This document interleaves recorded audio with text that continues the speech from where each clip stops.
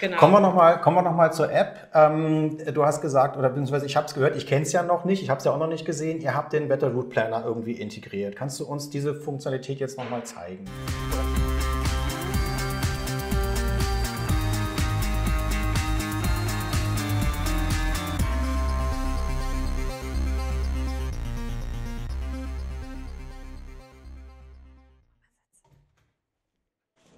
Plugsurfing.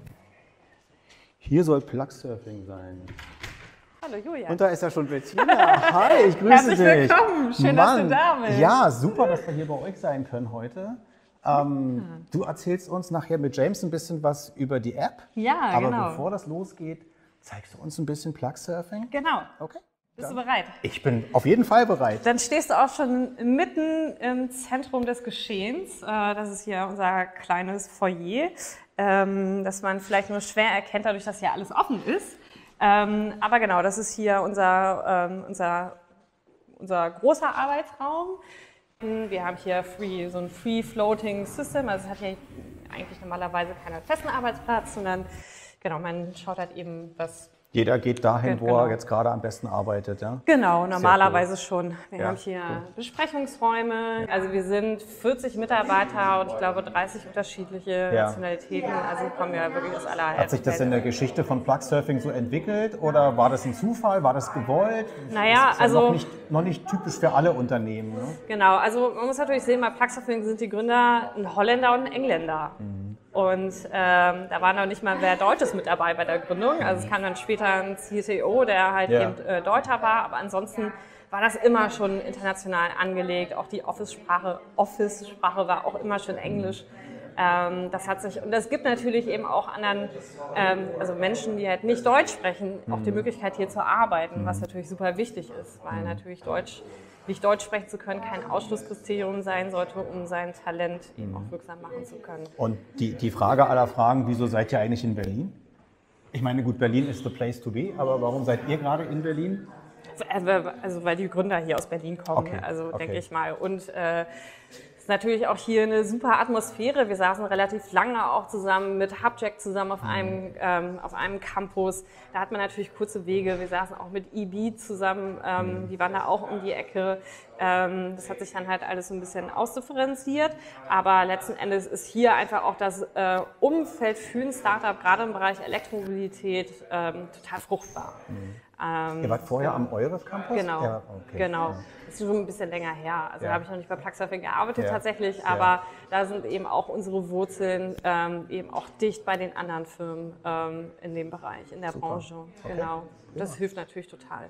Wahnsinn. Okay. Das 2020 ist ja das Jahr, in dem E-Mobilität so, so, irgendwie so durchstartet. Also zumindest es kommen viele Modelle. Merkt ihr das, dass die Nachfrage nach Oh ja, wir merken das absolut. Echt? Das ist auch richtig schön zu sehen, ja. dass halt ähm, die täglichen Ladesessions, die wir in unserem Netzwerk haben, kontinuierlich wächst, aber eben auch die Ladeschlüsselbestellungen wachsen.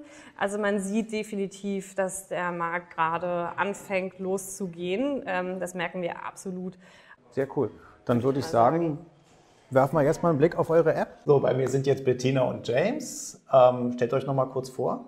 Ja, hallo, ich bin Bettina Riekenberg. Ich bin hier Head of Key Account Management und ähm, genau, werde euch hier die neue App vorstellen. Mhm. Und James? Und ich bin James East. Ähm, ich bin äh, Produktleiter für Plugsurfing äh, und ich habe in Berlin seit drei Jahren äh, gewohnt, aber mein Deutsch ist noch nicht so gut. Dein Deutsch ist schon sehr viel besser als mein Ungarisch, also von daher. Bettina, ihr habt eine neue App äh, gelauncht oder seid kurz davor. Wie ist der, der augenblickliche Status der neuen App von Plugsurfing? Am Mittwoch werden wir die App launchen. Okay, cool. Heute ist Montag, das heißt, ähm, wir kriegen so einen exklusiven Preview sozusagen. Genau. genau. genau. Und ähm, ja, dann würde ich einfach sagen, wir sind gespannt. Mhm. Leg los, zeig uns ein bisschen die App, dass mhm. wir ein bisschen sehen, was ihr euch Neues habt einfallen lassen, was so Besonderes ist in der neuen App und dann schauen wir einfach mal rein. Genau, äh, sehr gerne. Ähm Genau, man sieht ja hier gleich meinen Bildschirm.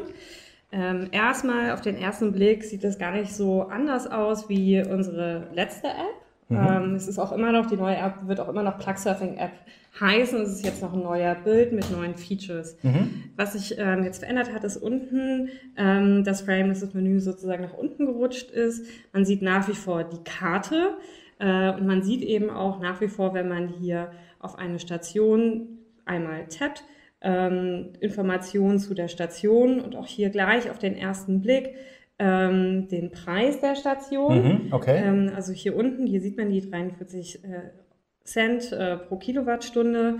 Man sieht auch sofort, ähm, wer ist der Betreiber, ähm, welcher, welche Stecker sind frei und welche sind besetzt. Ähm, also alles beim Alten, auch nach wie vor die Fotos, wenn sie vorhanden sind. Ähm, und es wird jetzt eben auf Connector-Ebene, also pro ähm, Ladepunkt, der Preis angezeigt, wird das durchaus auch mal variieren kann. Wenn er jetzt eine Ladestation ist, die einen Typ 2 und CCS-Stecker mhm. hat, dann sind das unterschiedliche Preise. Das wird jetzt halt auch eben so etwas übersichtlicher mhm. eben auch angezeigt. Man kann sich nach wie vor dazu zu der Ladestation navigieren lassen und einen Ladevorgang mit der App mhm. starten. Mhm. Das ähm, hat sich nicht verändert. Was das, was dort angezeigt wird, ähm, ist das ähm, verändert worden aufgrund von Feedback von den Nutzern? Absolut, genau. Wir haben ähm, für die Erstellung der neuen App haben wir eine UX-Designerin mhm. eingestellt, die auch äh, tatsächlich zu Autofahrern, zu Elektroautofahrern hingegangen ist, diese interviewt hat. Es gab mhm. qualitative Interviews. Man hat sie gefragt, was würde euch denn jetzt hier eigentlich helfen? Und so zum Beispiel ist auch ähm, neben dem Typ 2 Stecker jetzt auch ein Typ 2 Stecker Symbol. Es ist nur ja. ein kleines Update. Ja, ja. Also es ist eigentlich noch nichts Weltbewegendes, aber für jemanden, der sich zum Beispiel gerade ein neues Elektroauto gekauft hat, für den es ja CCS Typ 2, Tesla Typ 2, ähm, äh, Scam oder was mhm. auch immer, sind das ja böhmische Dörfer. Mhm. Ähm, und wir wollen es natürlich so einfach wie möglich machen für den Elektroautofahrer so dass wir hier eben auch direkt neben die Stecker auch die Symbole abgebildet mhm. haben, so damit direkt auf den ersten Blick erkennbar ist, ähm, welcher Stecker ist das denn jetzt hier eigentlich. Mhm. Also ich finde das, ähm, ich das sehr, sehr gut, weil wir ja selber auch die Erfahrung machen, dass wir häufig an, gerade jetzt an, an Ladestationen kommen und da stehen Leute, die haben seit zwei Stunden ihr Elektroauto und haben keine Ahnung, welcher Stecker mhm. ist das und wie mhm. heißt der und äh, wieso heißt der so und so und so und so. Und ist es so, dass ihr für ähm, unterschiedliche Elektroautos, eine Zoe, ein Tesla, was weiß ich, ein Kona, was auch immer, so eine Profile hinterlegt habe, wo man, wenn man sagt, ich habe eine Zoe, dann wird nur automatisch Typ 2 angezeigt oder ich habe einen Kona, dann wird Typ 2 und CCS angezeigt oder stellt man sich das selber ein? Wie ist das im Moment in der App? Do you have kind of profiles for different kinds of um, uh, EVs? Yes, yes, we do. So um, we have in our server the details of lots of different EV uh, models. And um, when you create your account or mm-hmm. when you later on in the app, you can tell us what car you have, and we will automatically choose the right connectors that you will have by oh, default. Okay. If you then have an extra adapter, for mm-hmm. example, mm-hmm. with the Tesla car, if you have the CHAdeMO adapter, then you can add that to your uh, filters in the app, mm-hmm. and we'll remember that. Okay. So next time you come back, uh, into the app will remember that you've got the CHAdeMO as well. Mhm. Ich übersetze einfach mal ganz kurz, was er gesagt hat. Du kannst ja mal gucken. Also ähm, James hat erklärt, dass man beim Anlegen des Accounts hinterlegt, welches Auto man hat und dass es eine Datenbank gibt auf dem Server und dass dann entsprechend zum Auto die richtigen Ladestationen angezeigt werden. Wenn man aber ein Fahrzeug hat, wo man verschiedene Adapter noch verwenden kann, zum Beispiel beim Tesla den CHAdeMO-Adapter, dann kann man den noch hinzufügen. Um, diese, uh, James, um, this um, database for the for the profiles for the different EVs is updated continuously. Yes, absolutely. as we get new details of uh, new models from manufacturers or any users who want to suggest a car that, mm. that we don't have, um, can get in touch and we'll update it. And as soon as we update it on our server, it's updated in the app as well. Mm-hmm. Okay, that's great. I think that's really a great feature. Das ist ein mm. tolles Feature, was ihr da gemacht habt. Ähm, ähm, wir haben ja vorne gesehen in dieser Zeitschrift ähm, Vision Mobility oder wie das mm. hieß, da war so eine riesen Liste an neuen Elektroautos, die jetzt kommen. Und das ist natürlich eine super Hilfe, gerade für Einsteiger. Ähm, Bettina, ein Thema, was auch auf unserem Kanal immer wieder diskutiert wird, ist dieses Thema, woher weiß ich, was es kostet? Mhm. Und kann ich wirklich sicher sein, dass es das kostet, was jetzt bei euch in der App steht? Könnt, wie könnt ihr das sicherstellen, dass mhm. das wirklich so ist? Also du hast es uns ja gezeigt, 43 Cent an irgendeiner Ladestation. Ähm, Wie, wie, wie aktuell könnt ihr diese Preise halten? Mhm. Also zunächst einmal ist es absolut bewusst, dass es für unsere Elektroautofahrer super wichtig ist. Deswegen haben wir auch, das ist noch ein weiteres neues, tolles Feature, das mhm. ich vorstellen möchte. Okay. Man kann nämlich eben hier in der App, wenn man nach Filtern, also wenn man, wenn man filtert, kann man eben auch nach verschiedenen Preismodi mhm. filtern. Man kann zum Beispiel sagen, ich möchte äh, nur basierend auf Kilowattstunden laden. Ah, okay. Oder ich möchte nur basierend auf Zeit laden äh, oder nur mit einer einmaligen Gebühr oder nur kostenfrei. Verstehe. Ja, also man mhm. kann jetzt eben auch schon vor der Suche herausfiltern, wie man gerne bezahlen möchte, was man, wozu man bereit ist und wozu man nicht bereit ist. Mhm. Ähm, genau, das ist natürlich auch eine tolle Hilfe für den Elektroautofahrer. Also das finde ich auch eine, eine klasse Sache. Uh, James, kannst du uns kurz mal sagen, uh, can you tell us how long did you, uh, how long time did it take to develop this new version from your app? So we started working on this app in um, well, the design work started in July last year, um, looking at feedback from users of the existing app, going out and interviewing uh, electric car drivers,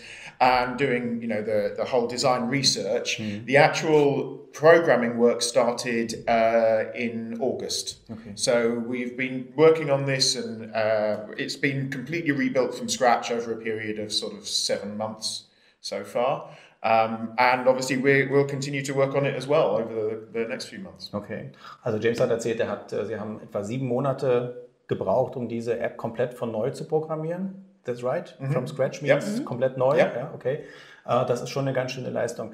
Aber Bettina, ich habe gerade gemerkt, ich habe dich, glaube ich, gar nicht ausreden lassen. Wir waren, genau, wir waren genau. bei dem, tut mir leid, wir waren bei dem, bei dem Thema, wie aktuell können eure Preise mhm. sein? Genau, also, ähm, also zusätzlich zu den Filtern, die wir eben mhm. gerade gesehen haben, ist es so, dass der Preis, der abgebildet wird in der App, auch direkt aus unserer Datenbank kommt. Mhm.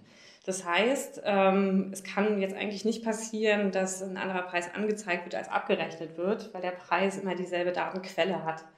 Ähm, die Datenquelle, also wir haben hier ein ganzes Team, ja, das ist auch besonders an Plugsurfing, würde ich mal noch sagen, wir haben ein ganzes Team, das sich nur mit der Qualität der Daten hier auseinandersetzt, damit diese immer äh, zuverlässig und richtig sind. Bevor wir noch zu dem äh, noch zu einem weiteren Feature von der App kommen, auch noch mal eine Frage. Ähm, ihr habt es vielleicht mitbekommen, äh, New Motion ist ja abgemahnt worden von der Verbraucherzentrale ähm, wegen dieser Preisgeschichte. Mhm. Also ihr kennt ja die Diskussion, wir haben sie auf dem Kanal auch schon x-mal gehabt. Die Preise werden eben nicht an der Ladestation angezeigt, sondern man muss in die App gucken.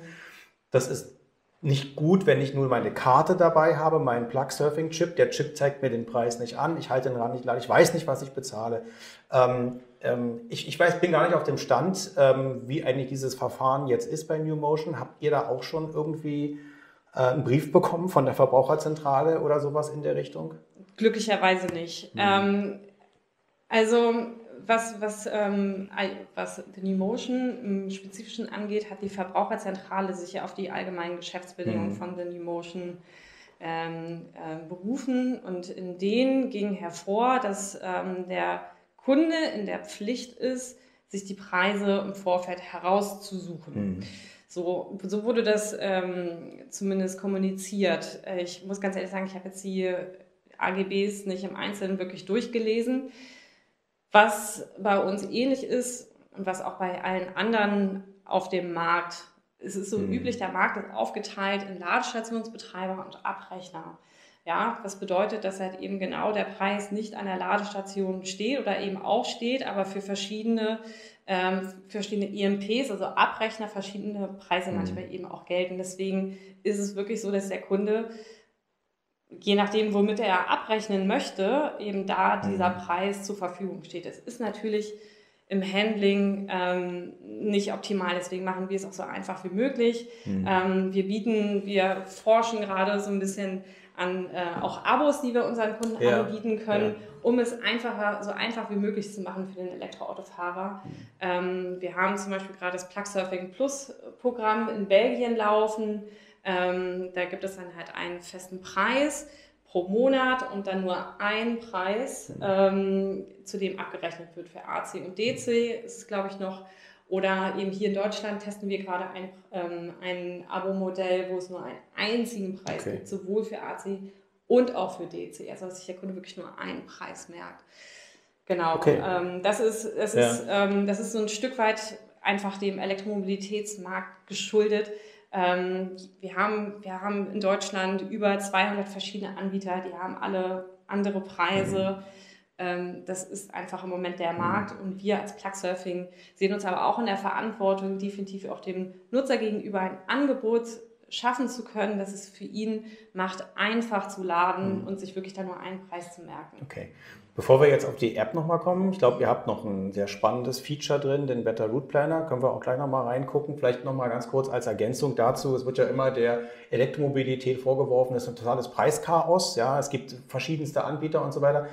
Ganz ehrlich, man muss mal bei den Tankstellen gucken, da ist es nicht viel anders. Da ändern sich die Preise auch ständig und vor allem gibt es dort auch eine Vielzahl an Kundenkarten, Ladekarten, Spezialrabatt. Ich habe jetzt gerade bei Lidl irgendwie einen Gutschein gesehen, mhm. da gibst du drei Cent, dann gibt es bei der Postbank einen Cent Rabatt. Also das Chaos ist eigentlich da, genauso wie bei der ähm, wie bei der Elektromobilität, wobei man hier einfach in der App den Preis ersehen kann. Genau. Also use the App, auf Deutsch gesagt. Genau, genau. okay. Also was, was sozusagen die Tankstellenbetreiber ähm, ein bisschen einfacher haben, ist natürlich das riesengroße Schild vor ja. der Tankstelle, wo dann ein eindeutiger Preis ausgewiesen ist, was es bisher an äh, Ladesäulen noch nicht gibt. Mhm. Und wenn, dann müsste es auch pro EMP eine Säule geben, äh, also pro Abrechner. Ja.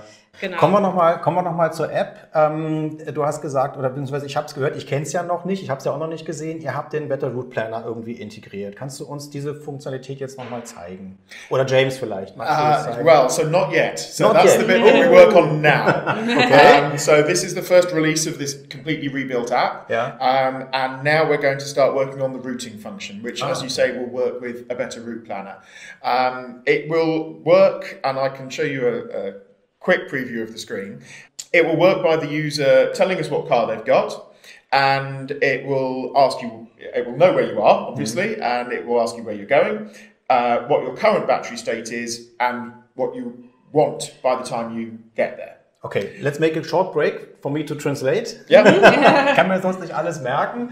Also James hat erzählt, die, äh, ja, sie planen jetzt ähm, ab jetzt sozusagen den Better Route Planner mhm. in die App zu integrieren, was glaube ich ein großer Fortschritt für, für alle Elektroautofahrer sein wird, weil dieses Thema, ja, wie komme ich von A nach B, muss ich mir vorher stundenlang Gedanken machen.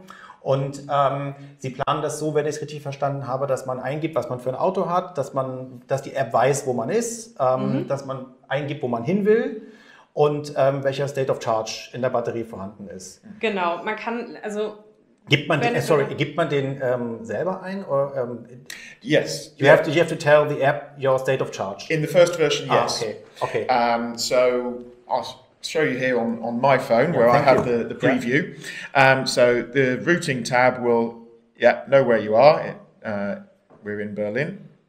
Um, in this version, I have to type it in, but it will know where you are. Okay. Uh, and then where we're going. So let's say I'm going to Munich. Mm-hmm. The piece of cake. Yeah. yeah. And mm-hmm. there we have the route drawn. Mm-hmm. And you can that's see very here, quick. That's that's very quick. That's very um, quick. Wow. Then what it'll do is work out where the best charges are for you. So yeah. here we've, we're saying I've got 100% battery right now. I need at least 15% when I arrive and then we will work out where you need to stop along that route. Okay, um, I, I make a short break. Mhm. Uh, sorry for that. Um, James hat uns jetzt gerade hier gezeigt, um, wie schnell man eingeben kann, wo man ist und wo man hin will. Das, wo man ist, wird demnächst noch automatisiert, wahrscheinlich über GPS. Mhm. Okay. Ja, genau. Mhm, genau. Ja, die Geolokation. Okay. Mhm. Und dann gibt man im Prinzip per Hand ein den aktuellen State of Charge. Mhm und mit welchem State of Charge man ankommen möchte. Mhm. But I think that's a very uh, unique feature, um, the, the state of charge at your destination, because mhm. you might want to go on Yeah. If you arrive there, have a short break for half an hour, then you have to go another 50 kilometers, something like that. Mm. So it's important to have a, spe a, specific state of charge on your destination. Yeah. That's right. Also ich habe Ihnen nur gerade gesagt, beziehungsweise mich nochmal vergewissert, dass es wirklich, finde ich, super gut ist, auch einzugeben, mit welchem State of Charge man dort ankommen möchte. Es kann ja sein, dass man nur eine halbe Stunde Pause hat bei einem Geschäftstreffen, mm. was auch immer, und dann auch nochmal zum Hotel weiterfahren will. Und dann weiß man, dass man auch garantiert beim Hotel ankommt. Das ist cool. That's very genau. cool. Okay. What we'll do as well to begin with is just use sensible defaults for a lot of the other settings. Um, but we're working uh, as far as possible with car manufacturers mm-hmm. and with manufacturers of um, plug-in okay. um, uh, accessories so that we can get these details directly from the car and that's the user won't via have to type OBD. Exactly. Okay, that's great. Okay, Sie arbeiten also daran, dass der State of Charge der Batterie in Zukunft automatisch ausgelesen werden kann, zum Beispiel über OBD-Schnittstelle. Mhm. Mhm. Yeah, um, but uh, to keep it simple, things like weather where mm-hmm. obviously the temperature outside can make a difference in how quickly you can charge and how quickly you use mm-hmm. uh, the, the, electricity. Um, we will look those up. Okay. So we can collect those um, automatically on our side um, in order to feed those into the, the engine that actually calculates mm-hmm. the route and uh, the charges. I can imagine that this is not a piece of cake to do that, right? Indeed not. but we're working, we're working with you know a very good partner in in a better route planner okay. who have a lot of experience in this area, and that's you know why we chose them because mm. they, they provide the best uh, engine for calculating. So, so, you will have, I guess, temperature, wind, yeah. maybe elevation, something yeah. like that. Oh, that's cool. Ja. Ah, also die App wird in Zukunft also ähm, berücksichtigen die, die Wetterdaten, die sie einbauen. Sprich, ob du Gegenwind hast, wie kalt, wie warm es ist draußen und auch zum Beispiel, ob du bergauf oder bergab auf der Strecke fährst, weil das ist echt, selbst wenn man nur zur Ostsee fährt und das sind 50 Meter auf 250 Kilometern, das merkt man volle Pulle mm. beim Verbrauch. Ja, man, man fliegt hin, aber zurück muss man klettern. Ja. Okay, so this is coming up. So, and um, for the charging, the, the app, what can it do for me? Well, uh, does it show me the just, the, the, the, the charging stations uh, and how long I will have to charge there? Yes, yes, uh, yes, it will. So it'll tell you um, the best place to stop that's compatible with your vehicle, um, and it will tell you how long you need to stay there, and it will also tell you the cost. Okay. Um, so once it's worked out how much energy you need, how, how long that will take for you to charge, mm. then it will tell you approximately how much you'll pay in currency okay. for that charging session. And this is coming up in the next month? This is coming up within the next couple of months, yes. Okay, so uh, das ist klasse. Um, so, das ist klasse, tolles Englisch. ja, man kommt, man kommt, man kommt. Okay, also äh, James hat gesagt, dass diese ganzen Features, die er eben angesprochen hat, also die, die App sucht dir raus, welche Ladestation brauchst du, wie lange wirst du dort laden, ähm, was wird es kosten, dass das alles jetzt nach und nach in die App eingearbeitet wird, sodass man hinterher im Prinzip sich eigentlich nur noch ins Auto setzen muss und losfahren ohne viel drüber nachzudenken. Genauso soll es sein. Great. Toll. Okay. Wollt ihr noch was, willst du noch was zu der App zeigen? Habt, habt ihr noch ein Special am Schluss oder sind wir durch? Do we have anything? There's yes, there's a couple of other yes. features I can show yes. you. Ah. One more thing. yes, one more thing indeed. Um, so in our new account management area, um, as well as having your main account details, which now has a very nice looking virtual card mm. to tell you uh, your uh, charging ID. Um, we have management of payment methods. So we, we now have full management of payment methods in this uh, version. So you can obviously add a credit card or PayPal account. You can also add SEPA direct debit. Mm-hmm. So you, we can now bill directly to uh, users' um, bank accounts. Um, and you can redeem vouchers through the app as well now. So, wow. um, where we have uh, partners who give out vouchers, certain car dealerships and so on, those can now be redeemed in the app, which mm. uh, previously you'd have to go on the web to do. Mm. Uh, short break. Ähm, James hat gesagt, Sie arbeiten also jetzt unter anderem auch daran, verschiedene Bezahlmethoden zu hinterlegen. Das heißt, ihr selber könnt eure Lieblingsbezahlmethoden hinterlegen.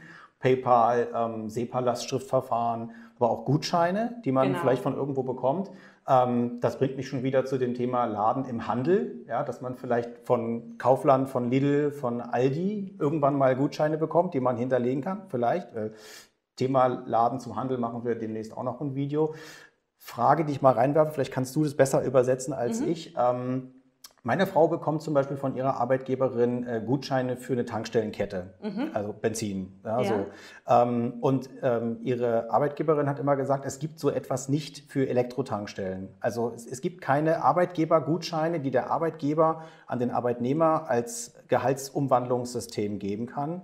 Ähm, ähm für, für, für den Bereich Elektromobilität. Mhm. Ähm, naja. Wisst ihr da irgendwas oder weil wir, wir, kriegen immer wieder auch so die Fragen nach dem Motto, ja, wenn mein Arbeitgeber mir jetzt einen Plug-in-Hybrid zum Beispiel gibt und ähm, oder ich kaufe mir halt ein Elektroauto und mein Arbeitgeber möchte mir eine, eine, Art Gehaltserhöhung geben, dann gibt es ja diese Gehaltsumwandlung oder ich weiß nicht genau, wie das mmh, heißt. in Form, ja, in, na, in Form, die kriegt immer so eine 44 Euro Gutscheine. Das mmh. ist irgendwie so eine 44 Euro Gutschein, den sie dann bei einer Tankstelle einlösen kann. Die stapeln sich natürlich bei uns zu Hause, weil wir die eigentlich nicht brauchen, aber irgendwie haben wir jetzt die. Und die Frage ist immer, gibt es sowas auch für dem Elektrobereich? Also wir können es absolut darstellen und anbieten. Okay, also, also ihr wir, könntet das auf jeden Fall machen. Genau, deswegen sind auch eben jetzt die Vouchers eben oder die Gutscheine jetzt auch eben in der App einlösbar, weil okay. das eben so ein zentraler okay. Punkt auch für uns geworden ist. Genau, wir können Gutscheine in jeder Höhe und äh, in, ja, unterschiedlicher Anzahl herstellen hm. und sie natürlich eben auch Arbeitgebern zur Verfügung stellen für solche Regelungen. Wir können eben sogar noch ein Stück weiter gehen. Wir haben ja unsere eigene Schnittstelle, OYY, eine technische mhm. Schnittstelle, die man eben ähm, zum Beispiel auch zu einem Arbeitgeberabrechnungssystem wie SAP ähm, installieren kann, sodass eben auch die Abrechnungsdaten dort ähm, direkt, ähm, also nicht manuell, sondern direkt automatisch eingespielt mhm. werden. Sowas können wir eben auch darstellen. Also wir mhm. sind da eigentlich wirklich total breit aufgestellt. Ähm, auch mit unserer eigenen API äh, gibt, mhm. es super viele Möglichkeiten, ähm, auch Services wie diese abzubilden. Mhm. Also genau, Gutscheine ist überhaupt kein Thema und eben auch die Anbindung an Abrechnungssysteme ist auch überhaupt kein Problem. Das äh, okay. lässt sich eben auch mit unserer Technologie darstellen. Mhm. Das ist beeindruckend. James, another, another I have two maybe other, one one last or two last features. I have two other yes new okay. things that we can show you. So uh, one is managing your charging keys. Mm-hmm. So if you have our RFIDs, um, which you can obviously add multiple ones to your account, you can now give them individual names. So when they come onto your bill, you can see the uh, what the ID that's printed on the key, but also you know if you've give, got one for different people in the family, or if you've got multiple cars, you can give them different names and see which key was used for each uh, charging session. Okay. Um, and you can also block and unblock the keys in the app. So if you lose a key now, instead of having to get in touch with us and, and uh, call to get it blocked, you can just go in the app and hit deactivate, and that will uh, block it um, from our system. Das ist nicht schlecht. Ich übersetze es mal ganz kurz. Ähm, es wird also jetzt auch die Möglichkeit geben, wenn ihr verschiedene Ladeschlüssel von Plugsurfing benutzt, äh, denen Namen zu geben, also mhm. zum Beispiel Steve und Julian. Und dann kann ich auf Steves Ladeschlüssel laden und du siehst es dann leider.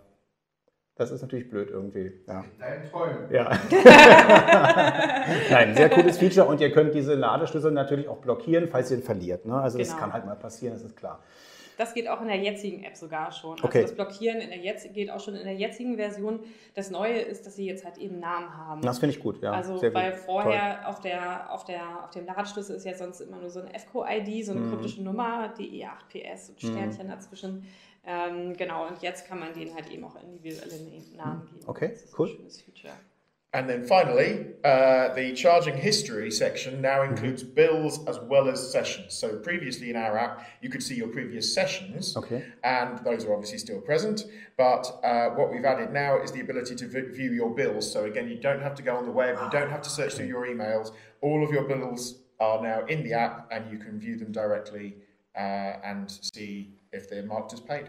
Das ist toll, super. Auch das übersetze ich nochmal zum Schluss. Äh, ihr könnt also in der Plug Surfing App in Zukunft nicht nur die Ladesessions sehen, wo ihr wie viel geladen habt, sondern auch die konkrete Rechnung. Sodass ihr also nicht mehr in die E-Mails gucken müsst, die ihr sowieso schon längst gelöscht habt, sondern ihr guckt einfach in die App rein und da steht alles drin. How long will the data stay in the app? Forever? Forever. Forever, okay. James, Bettina, das ist wirklich, ich finde es äh, faszinierend, was ihr auch für ein Engagement reinlegt in die ganze Sache. Vielleicht ist es auch für, für alle, die der Meinung sind, man muss unterwegs zum Haushaltspreis laden, dass das nicht realisierbar ist. Das alles kostet viel Zeit, das zu realisieren. Diese Features, die, die, die Datenintegration, alles das, was ihr uns gezeigt habt, kostet unheimlich viel Entwicklungsarbeit. Da steckt viel äh, Server dahinter, viel mhm. Serverarbeit dahinter, die letztlich auch bezahlt werden muss. Vielleicht also für uns alle, sage ich jetzt mal, Elektroautofahrer, natürlich wünschen wir uns einen niedrigen Preis, aber bei diesen ganzen Services, glaube ich, kann man verstehen, einen Aufpreis zum Haushaltsstrom, der irgendwo dann auch damit gerechtfertigt wird. Bettina, ganz lieben Dank, dass du dir die Zeit genommen oh ja, hast, James. Gerne. Thank you very much. Dankeschön. Um, und uh, go on with your English, uh, with your German. I will, I will. I will go on with my Ungarisch.